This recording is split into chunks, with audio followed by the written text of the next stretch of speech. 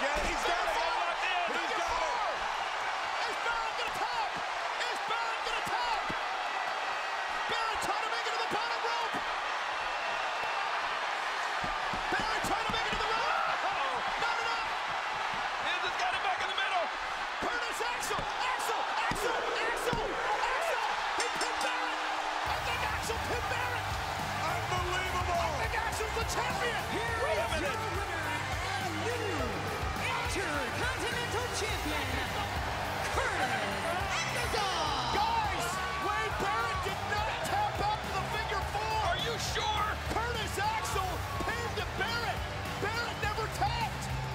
Had this thing won. Triple threat rules.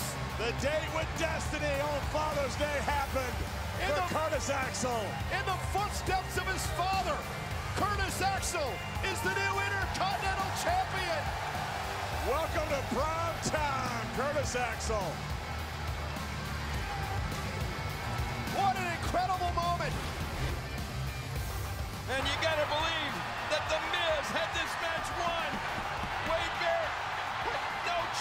but to tap out.